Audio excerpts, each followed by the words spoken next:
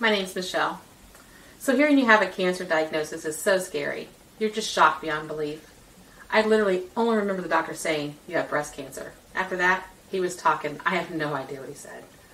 The only thing I found more frightening than the diagnosis was the treatment. Everyone kept saying radiation would be the easy part. It won't make you sick, they said.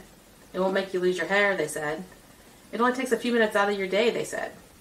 Well, they have never done radiation. I had to do 30 treatments.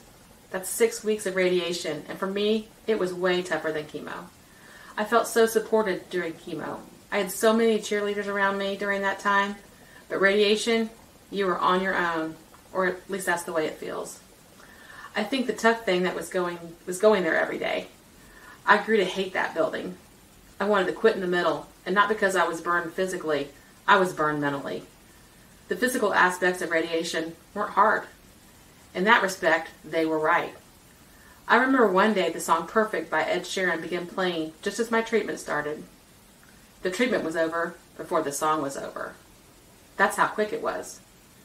Radiation made me feel sicker than chemo. I seriously took more Zofran during radiation than I did when I was doing chemo. I started a routine of completing my workout at the gym and then stopping by Sonic for a strawberry limeade every single morning. After I got my drink, I would turn on Won't Back Down by Tom Petty.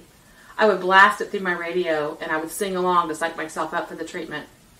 This happened every single day for six weeks. No one considered the mental aspects. That was really hard for me.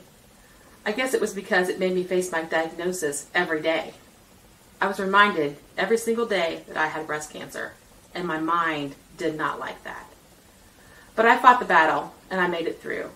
You can too. Do what it takes to make it through to the end, and don't give up. Grab that strawberry limeade, crank up your favorite fight song, because the term of the treatment is finite. You can and will make it through.